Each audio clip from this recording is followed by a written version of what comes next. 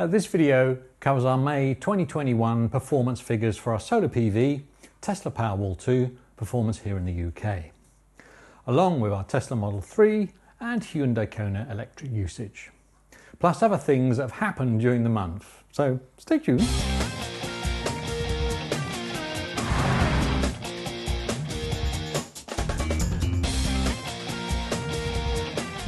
Hi, John here and welcome.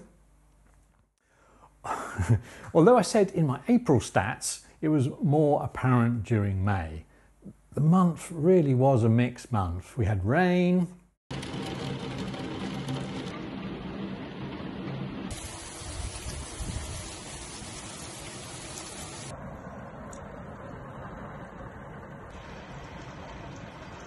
biblical rain. We had sunshine, uh, very good sunshine, certainly towards the end of the month, and we had clouds and we had cold as well. And in mid May, the UK Met Office confirmed that it was wet and cool so far in May, and many areas were nearly at their average rainfall for the month by the 13th of May. And you'll see in a minute, it wasn't a bumper month for us for sunshine compared to our April 2021 generation and our May 2020 total. I'll bring up a graphic on screen which you can pause if you're interested to review all of our components if you're not familiar with our setup and configuration. Also have a look down below in the description, there's a full list of components for our system in there as well. As always, please comment, like and share as any or all of these actions help get this video shown to more people on YouTube, which in turn helps my channel grow. So thank you in advance for those that do that. Your support is greatly appreciated. I'd like to give you a bit of an update on some of the key elements that have happened during the month of May before I get into the stats and the figures. Oh, and I'll be sharing my experience of charging the Tesla Model 3 to 100% at a supercharger, which is actually really interesting. So stick around to the end of the video for that. You may recall if you watch my channel regularly that in April we had our television aerial moved to prevent the birds from doing their droppings onto our solar panels whilst they were perched on the aerial. I can happily report that the relocation position has been a complete success. In May, there were no bird droppings on our panels from perching birds.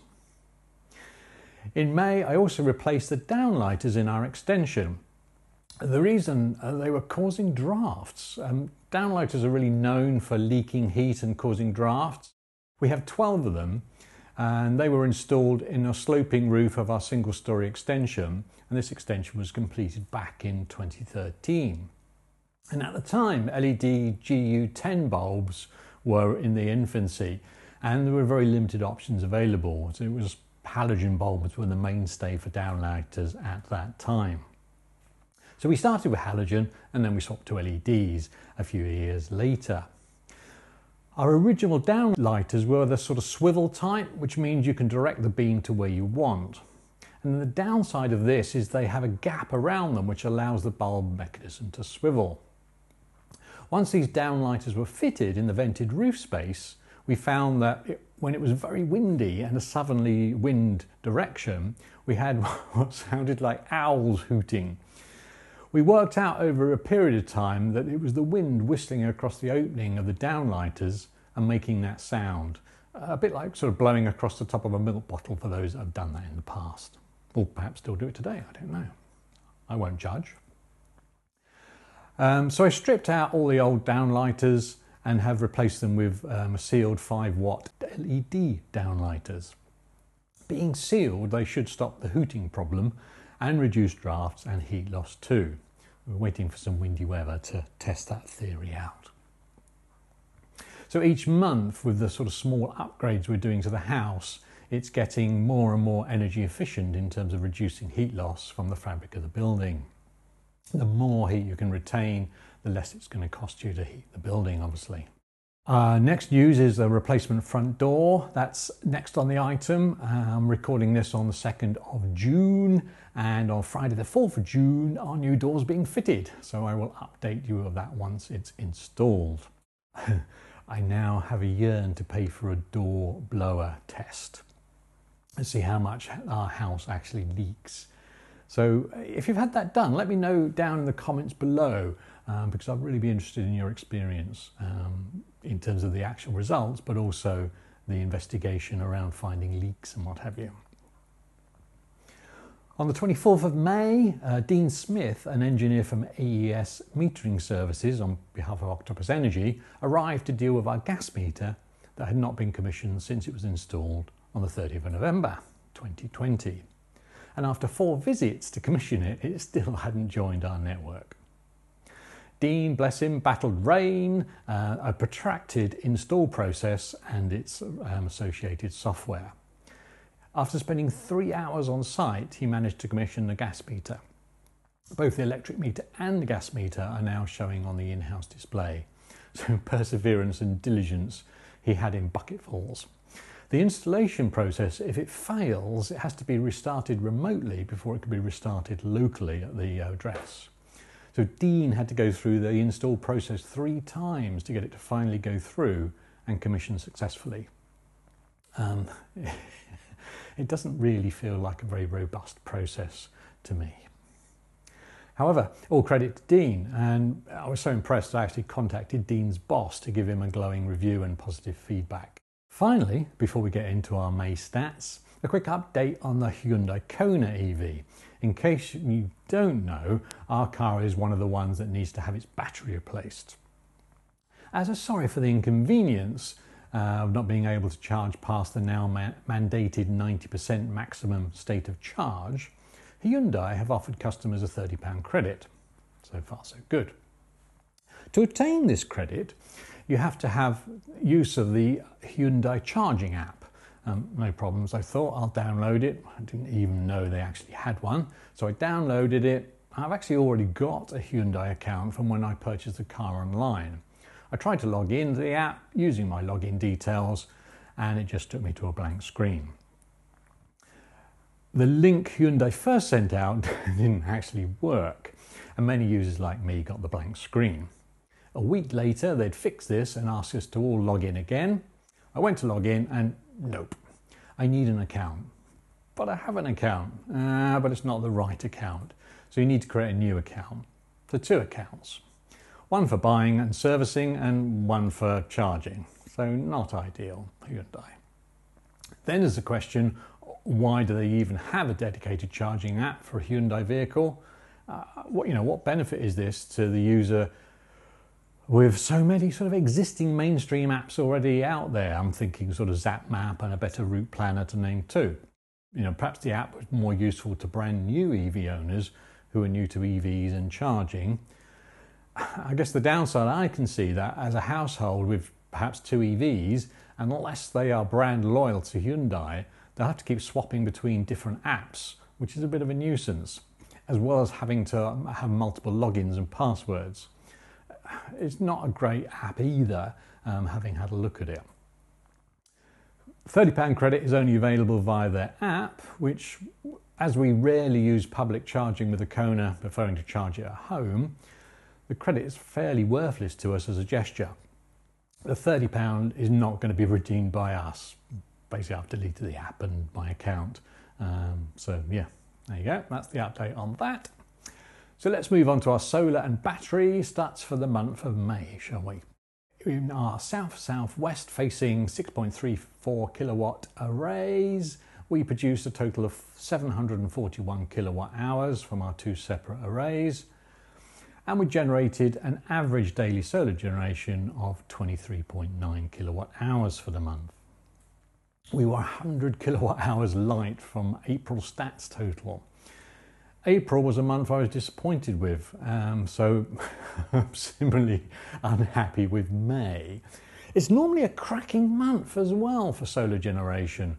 Cooler temperatures and longer sunshine hours gives ideal conditions for record-beating generation levels. So it wasn't really until the end of the month that we saw those levels coming in.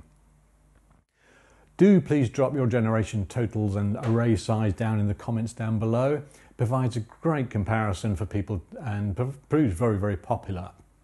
Plus, I like to read them and respond to them too. So thank you in advance for doing that. As you can see from this chart, our 4 kilowatt array produced 467 kilowatt hours and our new uh, 2.34 kilowatt array produced 274 kilowatt hours. I had hoped May would have been higher. Um, in previous years, it always has been. From now on, the days get hotter and hotter, which reduces the effectiveness of the panels, and you rarely get a peak generation um, anymore. So we'll see what June brings in terms of weathers, but I'm not holding my hopes out for it. This chart looks at the contribution uh, for self-powered for the month. So during the month, I was swapping between cost-saving mode and self-powered mode. If the weather looked iffy, um, which it certainly did towards the beginning of the month, we would be in cost-saving mode um, to allow us to pull from the grid as needed to get us through the peak 4 p.m. to 7 p.m. period on battery power with the high price of the Agile tariff that we're on. If it was okay weather or better, then I would be in self-powered mode. So 14 days during the month we were in cost saving mode and the remaining 17 days we were in self-powered mode. The weather was very changeable from day to day. We were in self-powered mode from the Powerwall and solar contributions for 83% of the time. And as you can see in the stack chart here, that 53% came from the solar generation and 30% came from the Powerwall contributions. Based on the month's solar generation figures, I'm sort of fairly happy with that. It's better than I thought it would be in fairness. This is the year on year chart and it compares the months of May from 2012 to 2021. Values from 2020 onwards are for both arrays, whereas before there, they're just for the single 4 kilowatt array.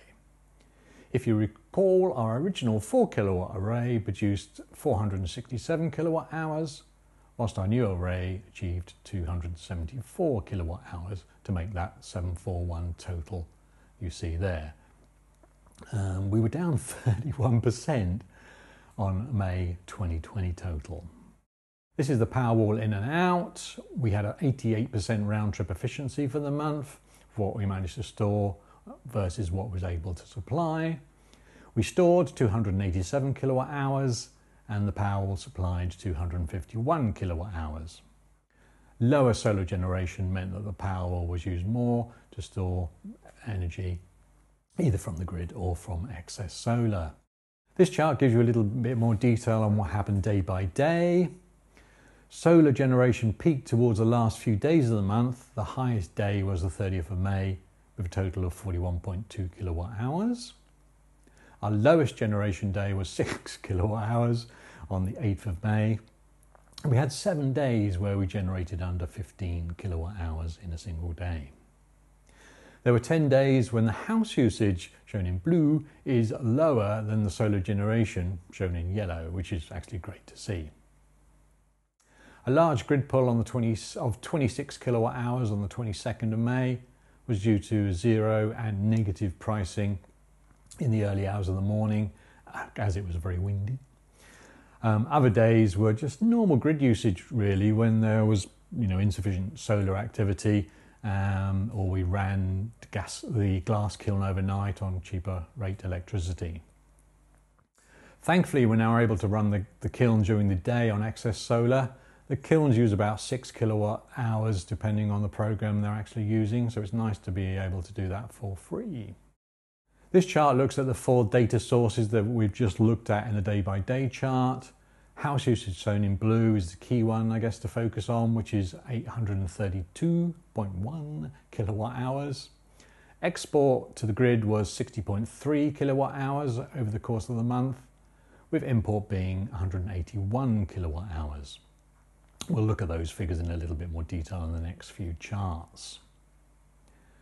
So this chart is our average daily house usage and our average daily grid usage over the course of the month. Our average daily house usage was down at 28.1 kilowatt hours. That's the blue line. Also down was our average daily pull from the grid at 5.8 kilowatt hours a day from 8.6 kilowatt hours in April. And that's the red line. Hopefully this will drop even more in June and July but as ever, we shall see. this chart looks at what we sent to the grid. We sent 60 kilowatt hours of excess solar generation back to the grid in May, which is better than April, whilst um, there is less solar generation to play with, we did make better use of what was generated. So I'm guessing that's the takeaway there. If we scroll down, this is what came from the grid and it shows that we pulled um, in May 181 kilowatt hours. Again, a reduction over April's total. Onto the eddi, the myenergi eddi. This heats our hot water from surplus solar. Uh, to refresh your memory, at the start of April, I increased the thermostat temperature of our immersion heater in the hot water cylinder from 65 degrees to 70 degrees Celsius. If the hot water needs a boost basically because there is no sunshine, then the gas boiler is used. Um, the increase in temperature has meant that we've obviously been able to use more of the solar rather than exporting it to the grid. And as you can see here for the figures for the month, as in previous month, we've done 49 kilowatt hours for the month, which is a lot higher than we had previously been on um, earlier months in the year. We've actually turned off our gas boiler around the middle of the month when it warmed up enough, so hopefully we won't be using that again until the end of the summer or into the autumn. You may have noticed I've not noted the monthly savings, um, and the reason for this is that our electric meter has stopped sending data to the DCC and electric and Octopus Energy. Its last recorded data was on the 19th of May, and this means that none of the apps can give a, an average unit cost over the month. So I've contacted Octopus Energy to ask them to look into it, and they're actually aware it's an industry-wide problem, specifically for the Kaifa MA120 electric meter. Guess which one I have? Yes, the Kaifa MA120. So um, hopefully that'll all flood back through um, because the meters do hold 13 months worth of data, but uh, it may not give the breakdown, um, only the totals for each day. So we'll see, see what happens with that. Keep you posted. Cars, let's talk about those.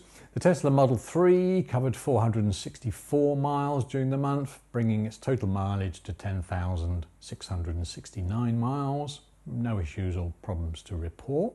Busy month with software updates though. We had five software updates over the course of the month and there was also two map updates which aren't shown here as well. So a busy month on the software front. And as you can see here, we've had 41 software updates since we've had the car.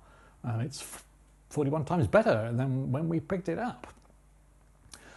Oh, I said about supercharging as well. We did one supercharging session where we added a total of 57.9 kilowatt hours um, this was at no cost to us for these charging sessions, thanks to those kind individuals who used our Tesla referral code when ordering their cars. So they got a thousand free supercharging miles, as did we.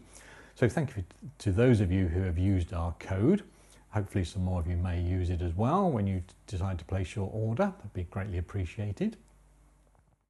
So the one supercharging session we did um, was at Banbury Superchargers, and they were fairly empty whilst we were there. There's 12 superchargers and only three cars charging at the busiest time during our stay. I say during our stay because I decided to charge to 100% and balance the battery pack, something that I'd not done before. So we hit 100% state of charge at 11:45, 11:46 a.m. Uh, from then on, the battery management system slowly ramped down the power it was pulling from the supercharger, right down from sort of 14 kilowatts to 11 to 9 to 8 to 7 and so on, right down from 1 to finally 0. And then we got the charge complete message, which popped up at 12:11 p.m. So which meant that between 11:46 and 12:11, some 25 minutes, the battery management system was balancing the cells in the battery and trickle charging the pack to level it out across all cells. So for those of you with Teslas, make note of the time taken to reach charge complete message if it's something that you're doing when you're going to charge it to 100%. As I said, it's not something I plan to do that very often, and plus we drove the car straight away once it hit 100%, as it's not good to leave the battery at 100% fully charged for a long period of time. Oh, and another thing, absolutely no regenerative braking uh, once you've hit 100% because there's nowhere for it to go into the battery. So uh, be aware of that when you're slowing down. You do need to use the brake pedal for a change. Home charging on the Tesla, we added 81.16 kilowatt hours. And as you can see, 70% of our total charging for the month was from free electricity, that's 82.45 kilowatt hours. Again, I'm unable to calculate the exact costs due to electric meter zoning out and not sending data from the 19th of May onwards. I'll catch up that data um, once it's restored.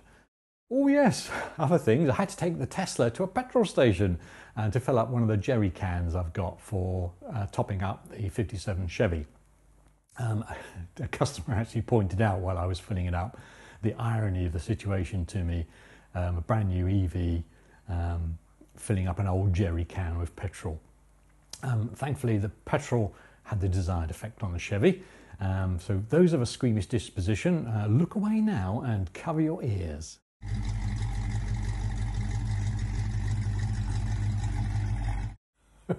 the sound of a V8. The Kona covered 229 miles in the month and now has a total mileage of 11,819. All charging was done at home, where we added just 35.13 kilowatt hours via the myenergi zappi. And that's it. Um, any questions, then dive into the comments down below and I'll pick those up. As I said earlier, please comment, like, share. All of those good actions help us get the video shown to more people on YouTube, which in turn helps my channel grow. Thanks for watching, and I'll see you on the next video. All right, take care. Bye.